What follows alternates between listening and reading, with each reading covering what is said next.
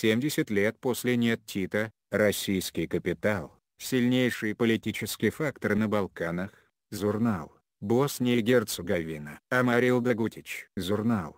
Босния и Герцеговина. 27 мая 2019 года. Общественность в Австрии возмущена скандалом, который спровоцировал ее вице-канцлер, почти продавшийся России. А вот апатичную общественность Боснии и Герцеговины взволновать трудно, даже когда все ясно как белый день. Кстати, Боснии и Герцеговине при существующей политике и политиках у власти внешние враги даже не требуются. Как стало известно впоследствии, встреча с членом Президиума Боснии и Герцеговины Милорадом Додиком, состоявшаяся 13 мая, стала для уже бывшего австрийского вице-канцлера и лидера ультраправой партии Хайнца Кристиана Штрахи несчастливой. Всего через несколько дней Шпигель и Зюдойче Цайтунг опубликовали кадры, на которых пьяный Штрахи обещает мнимой племяннице российского олигарха прибыльные контракты в тендерах и доходные фирму в обмен на политическую поддержку его австрийского партии «Свободы». Прозвучало также предложение о 250 миллионах евро грязных денег. Штрахи напрасно оправдывался,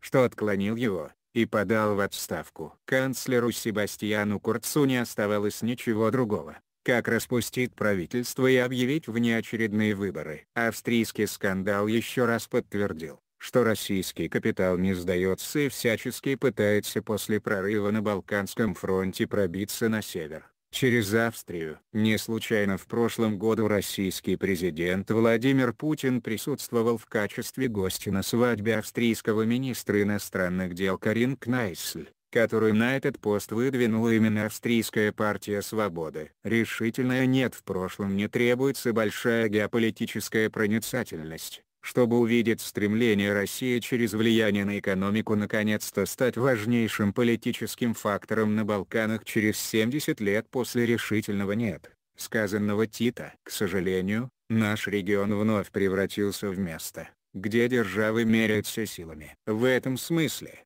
разумеется, Главное место занимает Сербия, но и работы там немного. Значительное влияние на Балканах распространяется через Турцию, чей союз с Россией крепнет день ото дня. Сейчас, пожалуй, только лидер партии демократического действия Бакир Изетбегович еще верит, что Реджеп Таип Эрдоган ценит его больше, чем Путина. Что касается Хорватии, то не найти лучшего примера, чем события вокруг фирмы Агрокор. Российский Сбербанк взял эту крупную компанию под свой полный контроль благодаря хитро предоставленным кредитам. За этим последовала попытка завладеть и нефтяной промышленностью, и россияне продолжают добиваться своего. Ясно, что Хорватия тихо издается. В нашем регионе Россия преследует две цели. Во-первых, в экономике, а во-вторых, она хочет остановить дальнейшее расширение НАТО. За последний год журналист нашего издания Авдавдич много писал о методах,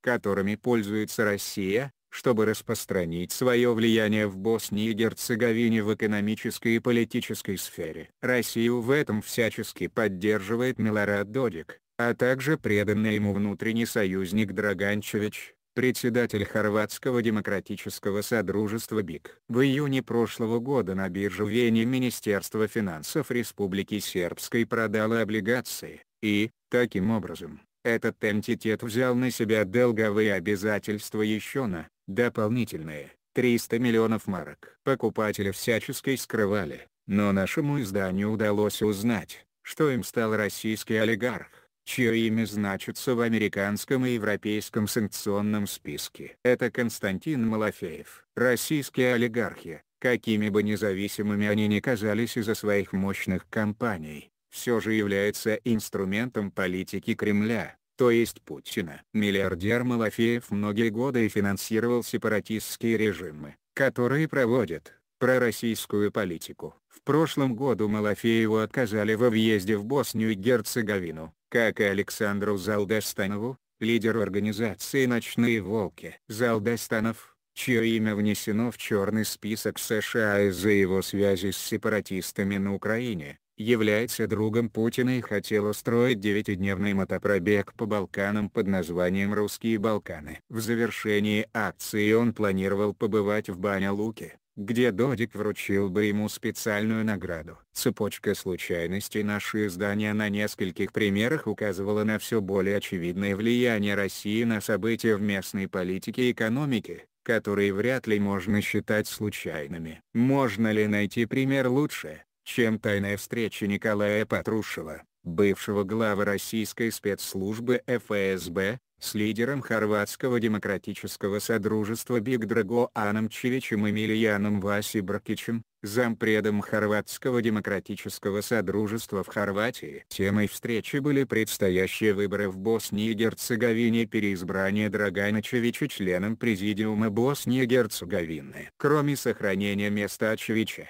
обсуждалось и сохранение российского политического, экономико-коммерческого и стратегического влияния в Хорватии и Боснии и Герцеговине, говорится в документах, содержание которых мы опубликовали в июле прошлого года. Вскоре после этого Чевич на встрече в Мостаре доложил шефу Додику основные договоренности. Параллельно председатель Центральной избирательной комиссии Ирина Хаджавдич устроила визит российских специалистов и других областях чтобы они помогли провести выборы в Боснии и Герцеговине. В это время владелец недвижимости в Вене и коллега Додика по санкционному списку США Никола Шпирич помешал службам безопасности Боснии и Герцеговины задержать сербских и пророссийских агентов которые в 2016 году завербовали двух граждан БИГ для работы на военное контрразведывательное агентство Сербии, не забывая о младшем поколении. Так, Сообщество ветеранов из Москвы, известное под названием «Наследники Победы»,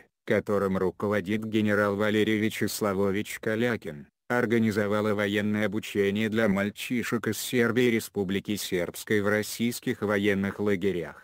Разумеется, Додик радушно принял Калякина в Баня-Луке. Уже много написано и о том, как происходит захват нефтяной промышленности в Республике Сербской посредством мостарской компании «Алюминий». Общественность Австрии возмутилась скандалом, который спровоцировал австрийский вице-канцлер, и, по всей видимости, после выборов ситуация изменится, и российские притязания на эту страну будут отклонены. А вот апатичную общественность Боснии и Герцеговины взволновать трудно, даже когда все ясно как белый день. Партийные бюрократы крепко держатся за свои рабочие места, а другие тем временем только и думают, как бы им покинуть здешнюю трясину и уехать в ту же Австрию или какую-нибудь другую европейскую страну. Кстати, Боснии и Герцеговине при существующей политике и политиках у власти внешние враги даже не требуются. Материалы на СМИ содержат оценки исключительно зарубежных СМИ и не отражают позицию редакции на СМИ.